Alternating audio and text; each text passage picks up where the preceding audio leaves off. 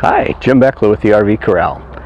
Thanks for visiting our website. I've got a really nice little camp trailer I'd like to show you that we just got in here on trade. This is a 2003 Komfort. It's a 24 foot um, trailer, really well constructed. Komfort is a company that's a local company built up in the Portland area and uh, we were a Komfort dealer for many years, uh, quite a few years back really like the, uh, the quality and, uh, and the uh, durability of this trailer. You'll see once we get to look around inside just how well constructed these are. It is um, fully welded uh, frame construction too on this model, so good uh, light, lighter weight trailer, but built to last. One of the things I like about this particular unit too, uh, one of the, it's very clean for one thing, but also I like the idea that it does have an electric tongue jack on the front so it helps when you're loading and unloading. You can don't have to do all the cranking just have this thing going up and down with just a push of a switch.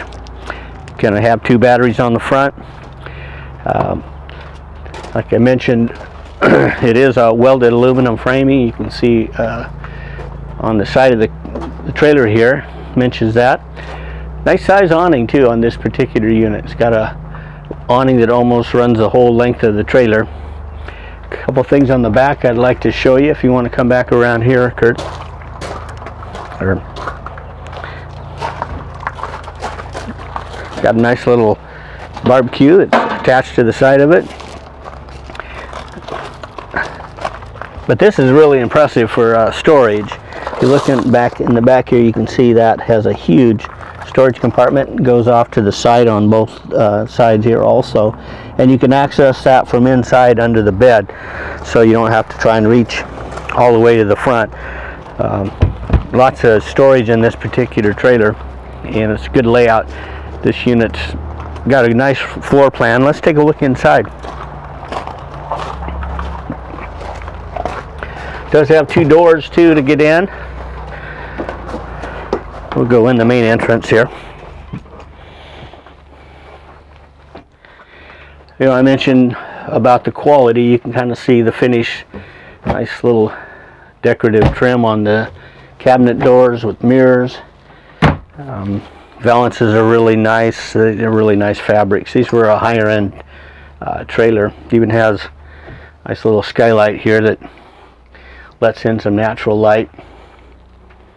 Sofa does make into a bed. It's a scissor bed. You should have your dinette folds folds up. Kitchen area has a double, two uh, nice deep sinks, double sinks.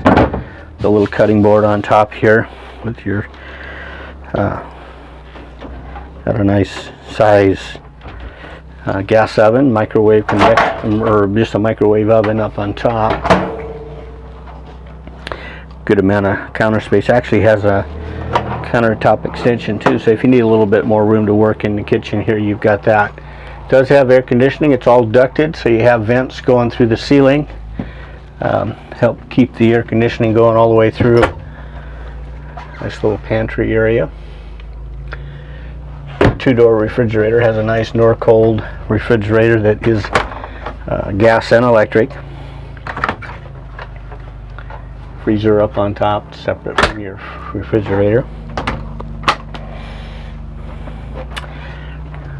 Got a nice little separate closet here too. And some drawers down below.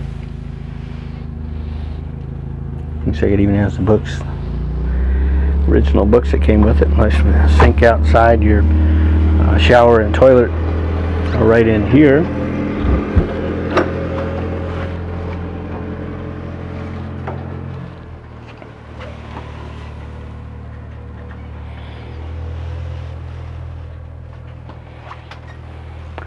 Does have a couple of ways to uh, ensure a little bit more privacy as you get back into the bedroom area.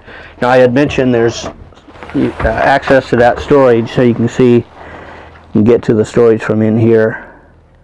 That really is a lot of storage in the trailer this size. Well those definitely work. Those are hold that thing up for you real well. Well you do have more closet space back here.